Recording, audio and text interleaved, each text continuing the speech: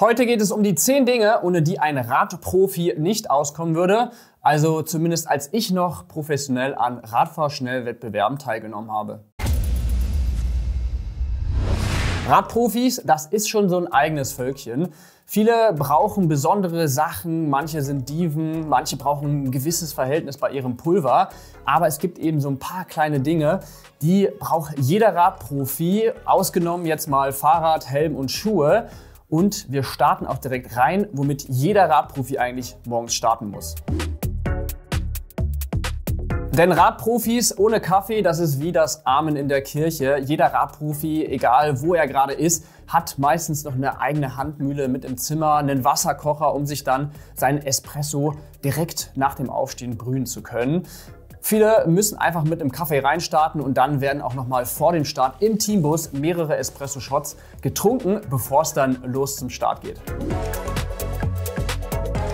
Ein Utensil, was viele Radprofis neuerdings brauchen, ist Haarspray oder Sockenkleber. Bei mir war es noch gar nicht so der Fall, aber mittlerweile sind alle mit diesen Aerosocken unterwegs und der Bund, der leiert leider relativ schnell aus. Damit man nicht für jedes Rennen ein neues Paar Socken braucht, wird dann Haarspray oder Sockenkleber verwendet, damit der Socken schön oben bleibt, aerodynamischen Vorteil bringt und man nicht als Triathlet beschimpft wird. Sie wären beinahe aus dem Profisport verschwunden, Richtig geraten, die sogenannten Sicherheitsnadeln, denn äh, die Trikothersteller haben irgendwann mal angefangen, Taschen zu entwickeln, wo man die Nummer einfach reinlegen kann, beziehungsweise reinlegen und aufkleben kann. Aber die UCI hat sich dagegen entschieden und deswegen haben alle Radprofis selbstverständlich Sicherheitsnadeln mit dabei, um ihre Rückennummer aufs Trikot zu machen.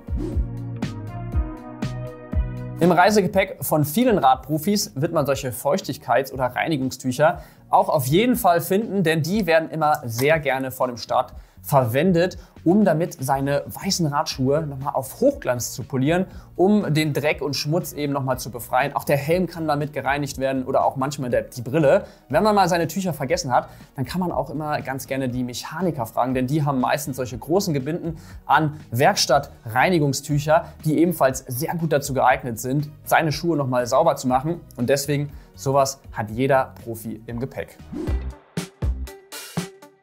Zu Beginn des Jahres darf bei keinem Radprofi das Bikefitting fehlen, denn meistens gibt es ein neues Rad, ein neues Modell vom Sponsor oder es gibt ein paar neue Schuhe und deswegen gehen viele Radprofis zum Bikefitter des Vertrauens, wo sie dann mit der besten Position auf ihrem Rennrad eingestellt werden. Meistens gibt es zu dem Bikefitting auch noch ein paar Einlegesohlen mit für die Radschuhe, um gegebenenfalls Fehlstellungen zu vermeiden oder die Kraftübertragung zu verbessern. Und ich kann es mir einfach nicht mehr vorstellen, ohne meine geliebten Einlegesohlen zu fahren.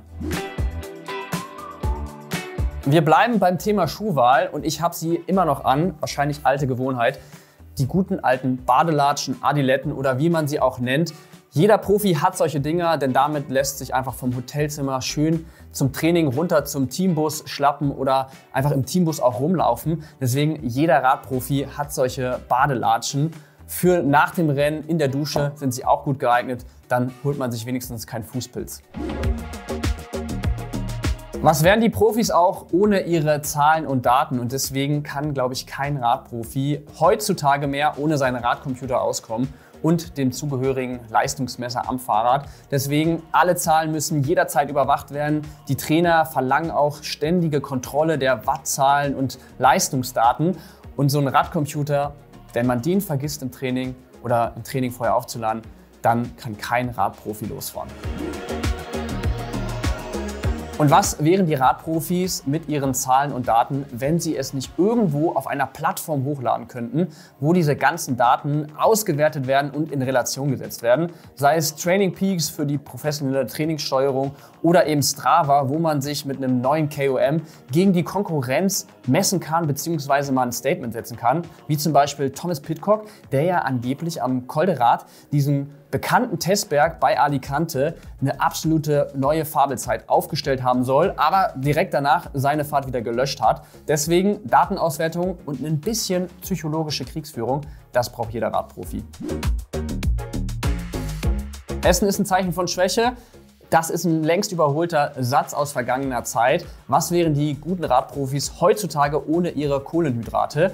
Die werden sich stundenweise immer 90 bis 100 Gramm bei der Fahrt einverleibt und auch vor und nach dem Rennen wird mittlerweile ordentlich gegessen und man muss schauen, auf die richtige Kohlenhydratanzahl und die richtigen Kohlenhydrate zu kommen. Und was wären unsere guten alten Breitensportveranstaltungen ohne die Pasta-Party davor? Auch solche Mehrfachsteckdosen sind wirklich bei vielen Profis mit im Reisegepäck, denn wenn man zu zweit sich ein Zimmer teilt, und der ganze Tag so vorübergegangen ist, dann muss am Abend eine Menge aufgeladen werden. Instagram-süchtig sind die Radprofis sowieso mittlerweile alle. Deswegen das Handy muss geladen werden, der Radcomputer muss aufgeladen werden, der Laptop für Netflix und Co. und vielleicht auch noch ein iPad und dann noch hier irgendwie der, äh, das Fitnessarmband. Deswegen solche Mehrfachsteckdosen sind immer sehr nützlich bei Reisen eben in Hotels, denn oft sind da wenig Steckdosen verfügbar. Und damit man eben einfach alles gleichzeitig laden kann, hat immer einer so eine Mehrfachsteckdose dabei. Und was auch ganz wichtig ist, man muss das richtige Modell von Mehrfachsteckdose nutzen, denn wenn man so einen Kippschalter hat, dann kann man natürlich irgendwie Strom sparen, wenn man es nicht braucht, aber das leuchtet unangenehm im Dunkeln und kann bei dem ein oder anderen Teamkollegen böse aufstoßen. Das waren die Top 10 Dinge, die bei keinem Radprofi, also meiner Meinung nach aus, fehlen dürfen. Jetzt sind meine Ex-Kollegen und Kolleginnen gefragt. Also, liebe Radprofis, die das Video vielleicht schauen, was fehlt auf der Liste oder was könnte man noch dazu schreiben? Ich bin gespannt auf die Antworten, aber auch alle anderen können gerne in die Kommentare reinschreiben, welches dieser Dinge sie selber nutzen, auch wenn sie irgendwie in den Radurlaub fliegen. Und ähm, ja, da bin ich mal gespannt, was da so alles zusammenkommt. Wenn euch das Video gefallen hat, lasst wie immer einen Daumen nach oben da und abonniert den Kanal GCN auf Deutsch. Dann gibt es viele andere Videos auch, nicht nur für Radprofis. Also vielen Dank fürs Zuschauen. Ciao.